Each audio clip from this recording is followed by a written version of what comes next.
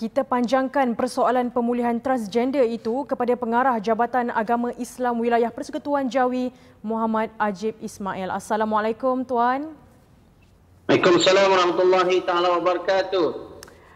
Ustaz, kita teruskan dengan ya. soalan kita. Proses didikan atau tarbiyah yang bagaimana Ustaz rasa sesuai untuk dilaksanakan jawi kepada golongan transgender yang ditangkap?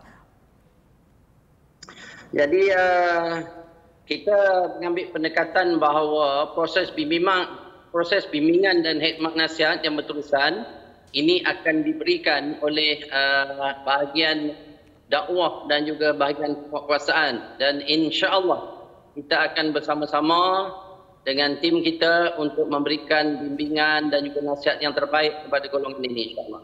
Hmm. Mungkin pendidikan tersebut boleh dibuat secara mingguan atau bulanan? Uh, kita akan melihat kepada kes-kes tertentu dan kita bersedia untuk bekerjasama dengan beberapa NGO komuniti hijrah LGBT seperti Hijrah Republik ataupun uh, Persatuan Instaf Pahang agar kelas pengajian Al-Quran dan usrah bulanan boleh dilakukan untuk membimbing mereka mm. ataupun mana-mana NGO yang bersedia untuk bersama dengan kita. Mm dan JAKIM mempunyai program Mukhayam untuk pulih golongan transgender ini. Adakah Jawi juga akan melaksanakan modul yang sama tuan? Nah, biasanya kita akan bekerjasama dengan JAKIM uh, melalui bahagian keluarga sosial dan komuniti dalam melaksanakan program Mukhayam ini.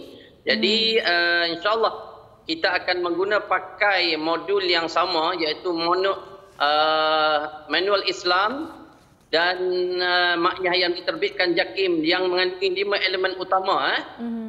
iaitu kesedaran kerohanian yang pertama, kedua bimbingan fardu ain, ketiga kesedaran kesihatan, motivasi dan bimbingan kejaya serta aktiviti luar dewan kuliah seperti latihan dalam kumpulan.